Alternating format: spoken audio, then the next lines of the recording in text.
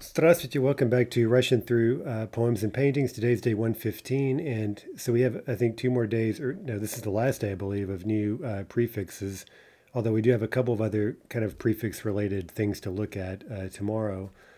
Uh, and I think today's lesson will be relatively short. Uh, we're talking about coming uh, together, going apart, sort of converging or diverging, scattering, and then also going behind, right? So if we start with the painting, this is another gigantic uh, historical canvas by uh, Repin, uh, the Торжественное заседание Государственного Совета, right? So this ceremonial uh, meeting session of the State Council on May 7th, 1901. And uh, let's read a little caption here. Все министры и высшие чиновники Российской империи сошлись на заседании Государственного совета. Okay, our key verb here is сошлись, right? That's our new item we're going to learn today. All the ministers and higher officials, right, higher level officials of the Russian Empire, сошлись, right? They've come together, they've converged, so to speak, for this meeting of the state uh, council. После длинного заседания все опять разойдутся. There's our opposite verb. After a long session or meeting or whatever, everyone will again scatter. They'll go their separate ways. So they've come together. Uh, and because this is an in-town gathering, or at least we're thinking of it that way here, we say that they've they've they've we use motion by foot as our default right now. This example, actually, I don't honestly know. Are these people from all over Russia? I think because they were this is they were in the capital city in, in Petersburg. They were probably all in Petersburg, but you know, conceivably we could have used a motion verb for converging by vehicle, right? If they had come from various uh, cities across the Russian Empire, right? But we're using here just again, kind of by default, the motion by foot verb. Они сошлись на заседание, и после заседания они опять разойдутся, right? They'll, they'll go their separate ways, they'll scatter, they'll diverge. В центре мы видим самого царя Николая II. Он сидит за столом под своим же портретом, right? So we see Nicholas II, right? He's sitting behind a table right underneath his own portrait, right? You see a portrait of him back there, and there he is underneath the portrait. Okay, so let's talk first of all about these two pre- prefixes, s and ras. Okay, so we'll see these later used just by themselves, just the prefix. And again, they mean their basic meaning is together and apart, right? At least the way we're looking at them here, right? Now we do know that sa can also mean down or down from, right? So we have to keep that in mind that sa um, can mean two two different things as a prefix. Uh, and by the way, lots of these prefixes can have different meanings, uh, but this one has a, has a different meaning even in terms of uh, just the most basic spatial understanding of, of the prefix, right? Down from, or simply down, or together, right? Convergence. Okay, so uh, we can use that with, for example, certain verbs of conveyance, like uh, look at these first two examples. Кажется, что, что сама судьба свела нас. It seems that fate itself has brought us together, kind of melodramatic. Sounds like something in a soap opera. But it was the best example I could think of, right? So Svila nas, literally it led us together, it brought us together. Okay, look at an example with ras, right? Masti razvili. Literally, they've drawn apart the drawbridges, right? So with the drawbridge, right, the two parts there drawn apart, right, or led apart, however you want to think about it. So uh, that's the way you talk about raising drawbridges in Russia мы уже не, не доберемся домой, right? We can't get home. Sounds like something in Petersburg where they raise the drawbridges and depending on where you live, you can't get home late at night. Okay, so there are two examples. Now let's look at another example with brats, right? Literally taking. We can take something, literally take it together, meaning assembling it, or we can take it apart, disassembling it. Отец собрал новую игрушку, а дети ее сразу разобрали, right? Dad put the toy together, he assembled it, but the kids took it apart right away. Okay, but those those types of verbs, especially the second one, right? Those are some the type of thing we'll be doing more of in book four, right? Where we're, we're taking action verbs and prefixing those. Today we're really, right now we're really more worried about motion verbs, right? Prefixing verbs of motion And we'll see that you know there there are rather rather limited examples actually where we're just using these two prefixes all by themselves with verbs of motion. We can look at a few more examples. There are a couple of other verbs that are quite common, like разводить, развести. Okay, that verb by itself would mean to divorce someone, like you're a, a clerk, a judge, or whatever, whatever official is giving someone their divorce uh, decree, right? Uh, you could say, well, he divorced them, right? But usually that would be used with a, um, a reflexive particle, meaning to get divorced, right? To be divorced, uh, to, to get divorced, right? That's разводиться, развестись. And again, we see the uh, the literal meaning is to be led apart, right? You're being led apart. The couple is being separated, right? So a couple of, exam- of examples. Его родители разводятся. They are being led apart. They are divorcing. Versus они развелись. They've gotten divorced. They got divorced. They are divorced. Okay, another, just again, a common example that we might as well mention, right? An idiom, разбираться, разобраться. Okay, we just saw that the verb разбирать, разобрать, right? We saw it in the example, разобрать means to take apart. Uh, now, this use where we add the reflexive particle, the, the resulting verb is just idiomatic. It's hard to really understand if we try to translate it literally. Like, it doesn't mean to take oneself apart. It just kind of means, uh, maybe the best way to think of it is to sort out kind of spontaneously or something, or to, to, to sort one's way out in something. Maybe that's another way to put it. It basically means to know all there is to know about something, to know, to know your way around something. Okay, so again, at the end of the day, we just kind of have to learn this as an idiom, just kind of learn the formula. That is, разбираться, разобраться в чем, right? You, you, uh, you do this in something literally. For example, она хорошо разбирается в машинах. She knows all about cars, right? Она хорошо разбирается в машинах. And again, that's one of those idioms that it's really, I think, almost senseless to try to translate it literally. It just doesn't work out really at all, at least not any way I can imagine. Or another example, давайте разберемся в этом. Right? Let's get to the bottom of this. Let's sort things out. Let's let's figure out what's going on here. Okay, now, so all of that is in some way a prelude to the real thing we have to say about these two prefixes, prefixes at least for now that with verbs of motion, we need not just the prefix, not just sa or ras, but we need the reflexive particle as well, right? And so we could actually think of this really as a kind of uh, circumfix. Some languages have that. Some languages have, well, we have prefixes and, well, not postfixes, but suffixes, right, which we add to the end of a word. Uh, and then we have um, some languages again uh, circumfixes right? Where you need something kind of in front and something somewhere later maybe at the very end. And it's those two elements together that convey a certain meaning right? So they kind of work together. That's what we have here. So this is kind of something new. And again ultimately this is just kind of an idiomatic thing. We can't really um, understand the reflexive particle in any of the ways we normally uh, think about it right? This doesn't mean uh, it's not um, it's not reflexive meaning. It's not passive meaning. Um, you can maybe think of it rather loosely as a kind of reciprocal action, right? Uh, kind of this mutual coming together of multiple things. Um, but you know, again, we just kind of have to learn this as a as a fixed formula.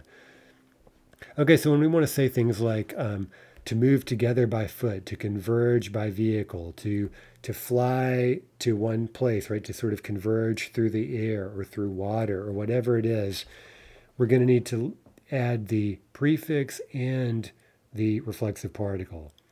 Right? So for example, в Петербурге мы сойдемся снова. Right? We will gather again in Petersburg. We'll all come together. Uh, we'll gather there. That's сойтись. Right? Uh, let's use a vehicle verb. Все друзья съехались на свадьбу. All the friends gathered, or we could say, kind of unpacking it, that they converged by vehicle for the wedding. They came together by vehicle. Они съехались. Okay, the opposite is we need раз plus ся. Все вышли из бара и разошлись. Everyone left the bar, they stepped out of the bar, and they went their separate ways on foot. That would be one way to unpack that. They diverged on foot. После свадьбы опять разъехались. Right after the wedding, all these guests who had converged by vehicle, they now diverge by vehicle. They go their separate ways by vehicle. Uh, another useful place you see this is creating the same, well, the verb with sa, the, the circumfix sa plus sya means again convergence, and you can use these with the verbs uh, pisать and звонить. So, for example, to get in touch by writing, to come together, so to speak, by writing, is списаться. To come together, to sort of make contact by calling is созвониться. Right, so those are two very common uh, verbs in Russian. When you're saying goodbye to someone, you're like, "Hey, keep in touch. Call me. Let's keep in touch by email or something." You would use these verbs often, right? Пока завтра созвонимся, хорошо? Right, we'll get in touch by phone tomorrow. We will converge, so to speak, by phone tomorrow. Or давай спишемся через несколько дней. Let's get in touch by writing in a few days. Okay, quick note with ras, as we might guess, since it normally ends in a z, right, in a z, uh, that would normally be devoiced in front of an unvoiced consonant to s. And with this particular uh, example, right, not only do we pronounce it as an s, but we change the spelling, right? So we get, for example, расходиться, разойтись, right? We're in the first example because of the cha, we change the spelling, we get ras, right, with an s. Okay, so um, again, the trick here is to, to learn these, these two examples as circumfixes and not to forget the sya. That's what people often do. They say it, they just forget about the sya, and you get something that doesn't make sense. Okay, let's just fill in a few blanks. Uh, the waitress quickly, and let's say, let's use past tense, uh, she quickly carried the beer to the table Okay, look, this is often quite descriptive, right? Uh, what did the waitress do? Well, she carried the beer, right? She's serving the beer. And think about Oktoberfest or something, right? Where you get these uh, waitresses with these, you know, like eight beers, you know, four beers in each hand, and they distribute them, right? So the idea is kind of distributing them. The beers are diverging, so to speak. They're going their separate ways to the separate tables. So this verb is, is very concise, very descriptive. Официантка очень быстро разнесла пиво по столам. Right? She quickly distributed the beer. She carried the beer in a diverging fashion. I'm not sure how you would like to unpack this, but hopefully you can visualize what it means.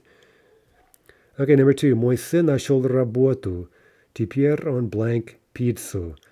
Okay, now we have a, a kind of divergence verb with uh, conveyance by vehicle, right? He's delivering pizza by vehicle, right, to all different places in the city, right? So we get раз, right? Теперь он развозит пиццу. Он развозит пиццу. Um, okay, meaning he drives pizza to all different points in town. By the way, there are other verbs for delivering things, but we're just using this here as, as an example with развозить, развести. Okay, three, разводить, развести. Okay, literally to lead apart, right? So as we've seen, this can mean different things. It could mean to divorce a couple if you're some kind of magistrate or whatever. Or it can also mean to raise the drawbridges, right? To raise the bridges. Когда они, let's use future tense, когда они разведут мосты? When will they raise the bridges? Мне нужен график разводки мостов, right? I need a schedule of the razvodka, which is a noun form from related to the same verb. When is the schedule of the uh, how could we put it? Drawing apart of the bridges, literally. Четыре, uh, собирать, собрать, right? Meaning to assemble. This can also mean to collect, right? What do you do when you collect? Well, you take things and bring them together, right? So let's see. Мой дядя очень богатый бизнесмен. My uncle is a very rich businessman. He collects yachts, right? He takes them, they're all over the place, and they converge in his collection, right? On собирает яхты. Okay, number five is бегаться, сбежаться. Okay, now we have our kind of normal pattern here with verbs of motion to converge by running. Вчера был пивной фестиваль. So yesterday there was a beer festival, and we, we have a two-part example here, five and six. The crowd, or a crowd, converged by running. They ran for the free beer. They converged for the free beer. And then in number six, and again, they diverged, they scattered by running. They ran their separate ways when the beer ran out. Okay, so толпа, feminine singular, сбежалась, right? First, толпа сбежалась на бесплатное пиво, and then сразу опять разбежалась, right? Разбежалась, когда пиво кончилось. Okay, again, very descriptive. Number seven, разъезжаться, разъехаться. Okay, again, uh, here we're diverging, we're scattering by vehicle. Чемпионат мира по футболу закончится завтра. The this was the World Cup back when it was in Petersburg, right? The World Cup will, uh, or literally the championship of the world for football, for soccer, right? The soccer championship. Закончится завтра. Uh, so it will end tomorrow. So future tense, the fans will go their separate ways, right? The tournament will end and they'll all go home by vehicle. Fanati раз, разъедутся, right? Разъедутся. Okay, uh, let's see. Восемь. Разводиться, развестись. Okay, uh, again, this could mean to be led apart generally, but this usually means getting divorced, right? Это очень хорошая пара. This is a really good couple.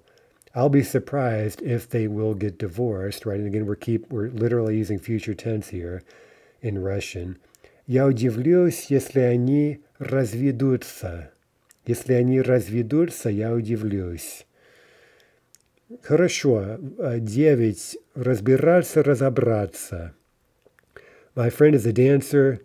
He dances. Uh, he, wait, sorry. My friend is a dancer. He understands ballet really well, right? He really knows all the ins and outs of ballet. So again, we're using this kind of peculiar idiom.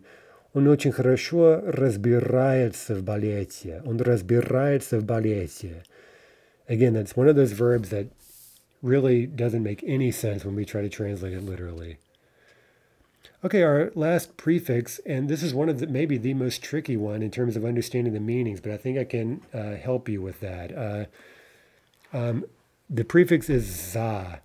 And we know, hopefully, from last year, you may remember that za is also a preposition and it means simply behind, right? So, in terms of just the most basic meaning of za, we could think of behind, right? So, to, to walk behind, to drive behind, to run behind, and, and so forth. But it's not quite that simple because um, you can go behind things in different ways, right? And uh, so, the way I like to think about this, and this is really useful. Uh, I'm not sure. By the way, I've seen this before. I don't know, but I, um, I, you know, sometimes you feel like you you made something up, and then years later you're like, oh, my, I actually saw that in this book, and I forgot where I ever saw it. But at any rate, I like to say that za describes a hooking motion, right? So just visualize a hook, a hooking motion, and that will allow us to capture almost all of the basic meanings of za. So the first, let's just think of most literally going behind something. Well, think about it. You can go behind something kind of uh, horizontally, right? Like the cat ran behind the dresser, right? You're kind of hooking behind something horizontally. You can also go make a hooking motion vertically, like maybe the sunset. The sun went behind the horizon, right? It went down like this. It made a hooking motion downward. You can even hook up onto something in Russian. We'll, we haven't really gotten a good verb for that yet, but one we'll see is залезть, which means to climb up onto something. So again, that may be uh, confusing at first, right? Why za when we've already learned that za is your basic up prefix? Well, again, if we think about za as a hooking motion, then we see that it actually makes a lot more sense. If the cat crawled up onto the refrigerator, it didn't just climb up, it climbed up and then again this hooking motion, right? So that's za. Um, so let's look at a couple of simple examples, right? Uh, Собака забежала за дерево. That's kind of a horizontal example. The dog ran behind the tree. Солнце зашло за горизонт. Kind of a vertical one, right? The sun went down behind the horizon. It set, we could say, right? Um, now, we get uh, some other meanings that are somewhat more specific, right? Мяч как-то залетел в ворота. The ball somehow flew into the goal. Okay, now again, let's think carefully about this. This is a really great example, actually. Um, if we say the ball flew into the goal, well, why not simply use v, right? We learned that, and we know there's a verb vlitать, vlететь, that means to fly into. So why not use that here? Well, we could use that, right? We could say мяч влетел в ворота. And that would just mean kind of straightforwardly, the ball flew into the goal, right? But if we say залететь, again, the key is to visualize some kind of a hooking motion of, of sorts, right? So the idea here is that the, the ball flew kind of improbably into the goal, right? So maybe um, maybe the player kicked it, put some spin on it, and you know made it kind of spin and hook its way, so to speak, into the goal. So you could think of it that way. There could be this kind of hooking uh, idea or or curving or whatever. Then on top of that, we had this idea of, of, of, a, of a sort of a sort of idea, somewhat vague maybe, of improbability right? That somehow that ball it curved and it flew into the goal in the hooking motion. And so the idea is that it's getting into this kind of tight spot that in a, in a somewhat improbable way. So if you have like something like a goal in sports or kind of some little opening and somehow a ball or whatever it is somehow finds a way to fly to get into that opening, it's kind of improbable uh, and also, once it goes in there, it's kind of stuck. So that's kind of one additional meaning of za. It often implies kind of being stuck somewhere. You you wind up somewhere and you're stuck, and you're fixed.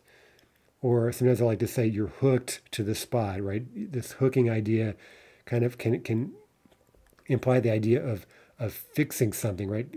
Snagging it, detain detaining it and fixing it, nailing it down to a certain spot or a nook or a little slot or something like that. Okay, so you can see that's kind of a mess, right? There are, there's lots of stuff going on there, but I think if you uh, kind of cling to this idea of a hook, you can kind of get an, use your imagination and see what's going on in these different situations. So let's look at a few other examples. Again, мяч как-то залетел в ворота.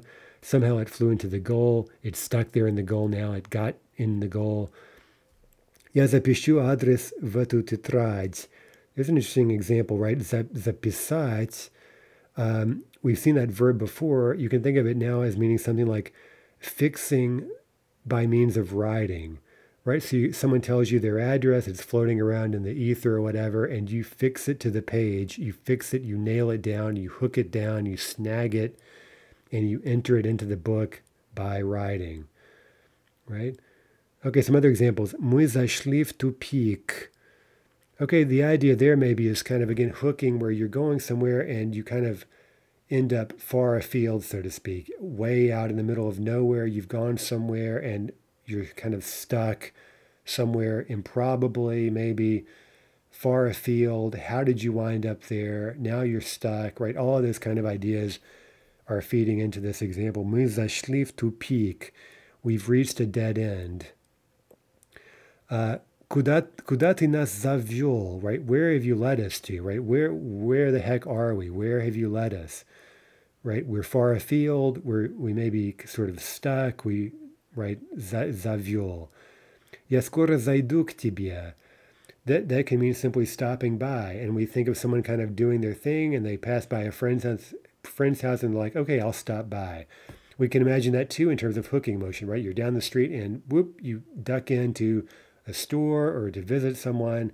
You're stopping by, as we would say in English. Я скоро зайду к тебе. Or это зашло слишком далеко. This has gone too far, right? Again, kind of too far afield. Maybe somewhat improbably things have drifted. Now you're somewhere you don't want to be. It's gone too far, etc. Okay, so again, a lot to, to think about there. This is, in, the, in that sense, probably the most complicated uh, prefix. Okay, so let's fill in a few blanks with za. Yesterday, so past tense, somehow a, a, a pigeon flew in to our window. It, it, it, flew in, sorry, it flew into our apartment, maybe, knam, vaknoa, through the window, into the window. Okay, we have a little sequence here, right? Because we have a follow up, right? It didn't want to fly out, it just refused to fly out again.